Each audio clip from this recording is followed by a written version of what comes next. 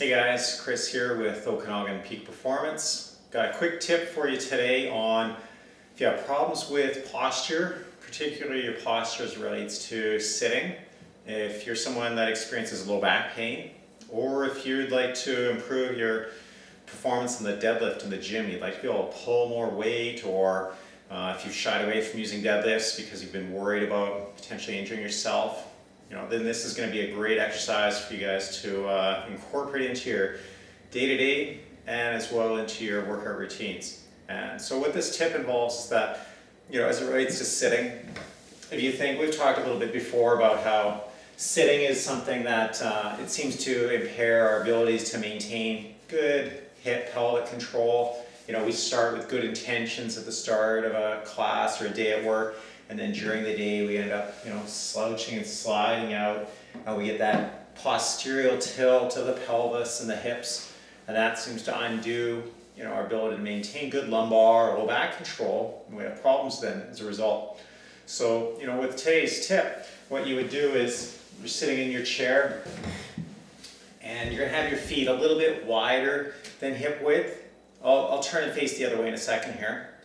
And you have to scooch forward kind of the edge. So just, you know, a little bit of your hamstring, glutes and hips are on the bench, but you're primarily off the edge. Start trying to think of sitting as tall as you can, chest is up. With overhand grip, grab the front edge of your chair and you're pushing through your heels as you're pulling with your arms.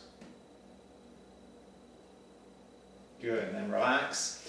And you might hold for five, six seconds then repeat. You have to think the two things at the same time. Driving the heels down while pulling with the arms and pushing the chest. So I'll do that one again. Drive the heels, pull with the arms.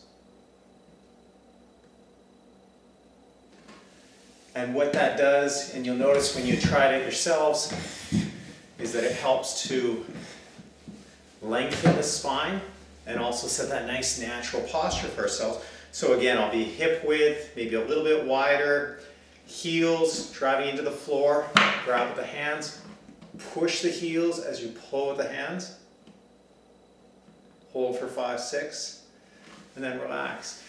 And so how this ties in with your workouts on your deadlifting day in particular is that if you think if you were doing a sumo deadlift or any kind of a wide stance and you came down to address the bar. As soon as your hands are on the bar, start pushing through your heels and take out the slack of your arms as you push your chest tall. This helps to preload the hamstrings, the glutes, and the low back. That extra stability under the preload now helps to protect and make your low back feel a little bit more secure. And as well, it lengthens the spine. And anytime we have a nice, long, stable spine, we're more likely to uh, be resistant to injury, and we're also going to perform a lot better. So give this tip, uh, you know, a bit of a test during your day-to-day. -day. So whether it's at work, when you're at the desk, or at school, or if you're driving, you know, when you have a chance to take a break, test it out. You don't need to change any of the gear. You don't need extra equipment. It only takes a few seconds to do, but it's going to help restore good alignment, and it's help stabilize, lengthen that spine, and improve your performance on your deadlifts. This is Chris with OkanaganPeakPerformance.com.